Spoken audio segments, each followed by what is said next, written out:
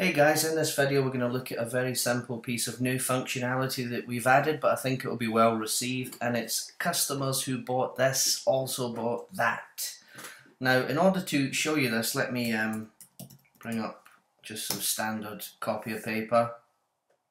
If we go ahead and click on that item you're going to see all the standard information related to that product but the addition of this new section here customers who bought this item also bought now in this case it's punch pockets, DL envelopes, coffee.